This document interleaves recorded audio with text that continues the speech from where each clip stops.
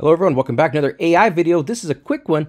I'm going to show you how to create a consistent style for all your images using the new style reference or sref parameter in Midjourney. I see a lot of 8 to 10 minute videos on this topic. This is a 2 minute topic at most. Let me give you an example here. Here is an image that I used as my reference image.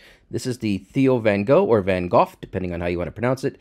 This is his Dr. Gachet uh, portrait that he created. Now, here are some of the images that I created from that using this as a style reference. They're awesome. Now, how did I do it? Let me walk you through it step by step. Step one, go into your Finder, or if you're in a PC, maybe your Windows Explorer, drag and drop in an image into your Midjourney, and then when it's dragged and dropped in, hit Enter. Once you've done that, the image will be loaded up here. I'll click on it, and I'm just going to right-click and I'm going to go ahead and copy link. You don't have to click on it. You can copy link right here, but it's just an old habit. So we've copied that link.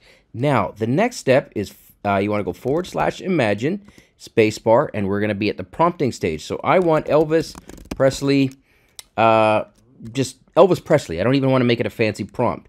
But here is where the magic comes. What you need to do next is go dash dash SREF. SREF. That means style reference or SREF. And then very importantly, you have to hit spacebar. It does not know that there needs to be a space there. If you don't hit spacebar, you're going to have a bad day. And then all you got to do now is Command V on a Mac or Control V on a PC and copy in the link that we saved earlier. Now, I'm going to press enter and you're going to see that it's going to start cooking up based on this image. I'll come back when it's done, show you what we got, wrap it up. All right, welcome back. So here is its first attempt at it here. If I click on it, you'll see here it's got that cool little neon pastel style in the Warhol style. I mean, some of these, I might use the bottom left one here, and the bottom right one has potential.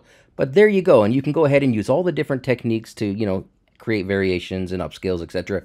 that I've got in all my other videos and tutorials. But that's literally all there is to it. Thanks for watching.